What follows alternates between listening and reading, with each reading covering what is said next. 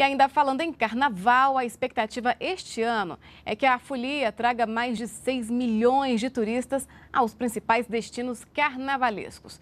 E para combater a exploração de crianças e adolescentes durante o período, uma parceria entre a Secretaria de Direitos Humanos e o Ministério do Turismo vai levar informações sobre como identificar e também como denunciar o crime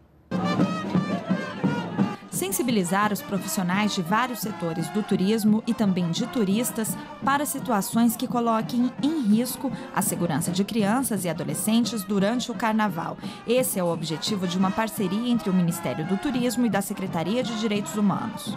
A expectativa do Ministério do Turismo para esse ano é que mais de 6 milhões de turistas, brasileiros e estrangeiros, procurem os principais destinos das festas de carnaval no Brasil. A campanha para a proteção dos direitos da criança e do adolescente envolve centros de atendimento aos turistas, hotéis, bares, restaurantes, cooperativas de táxis, lugares de aglomeração de pessoas e circulação de turistas. As denúncias sobre violações de direitos de crianças e adolescentes podem ser feitas pelo Disque 100. As ligações são de graça e podem ser sigilosas.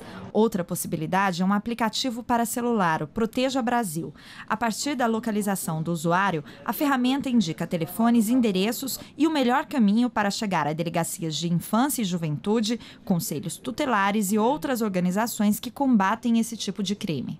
Uma campanha permanente, mas num período como o do Carnaval, por exemplo, que vamos ter mais de 6 milhões de brasileiros circulando pelo país, é, fora os estrangeiros, que a gente é, mantenha o alerta ainda maior. São momentos de grandes aglomerações, de excessos, né, e que condutas como essa que nós queremos efetivamente erradicar do país é, é um crime, é um crime hediondo. A presidenta Dilma Rousseff sancionou a lei, portanto, é um dever de todos. O Ministério se engajou é, e já vem acompanhando, junto com a Secretaria de Direitos Humanos, há algum tempo, todas as medidas que estejamos somando nessa direção.